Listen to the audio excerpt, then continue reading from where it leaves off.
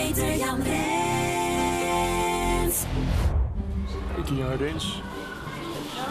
Peter Jan Rens? Zeg de naam nog eens?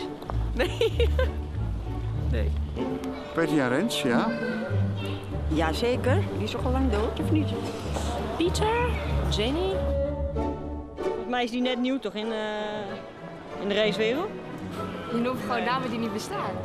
Nou, hij bestaat zeker wel. Peter Jan werd op 10 oktober 1950 geboren in Velzen-Noord. Hij werkte als fysiotherapeut, maar besluit in 1978 professioneel theaterartiest te worden. In 83 heeft hij zijn eerste succes met een hoofdrol in de film Brandende Liefde... met de nogal vingervlugge Monique van der Ven. Over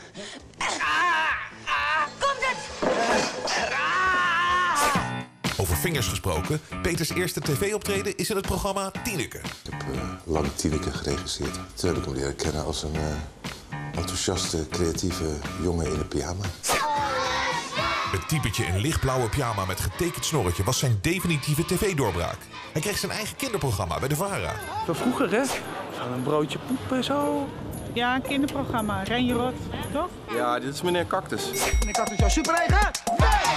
De grote meneer Cactus Show met mevrouw Stemband.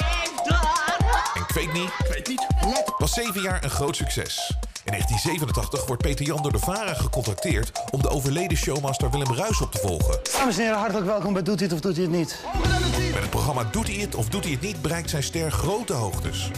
Dat was ook zo in die tijd. Heeft ook, laten we niet vergeten dat hij ook de televisering heeft gewonnen voor Doet hij het of doet hij het niet. Dat was echt eh, top. Dit is voor mij een absoluut hoogtepunt. Vroeger was hij eh, wel aardig bekend, hè, op de markt. Ja, hij vond, hij vond maar wel iemand met uitstraling. 5 tegen 5, 5 tegen 5. Rens stapt in 1993 zeer lucratief over van de VARA naar RTL 4. Het succesnummer Geeft Nooit Op verhuist met hem mee. Dan begint hij als eerste Nederlandse presentator ooit aan een late-night talkshow.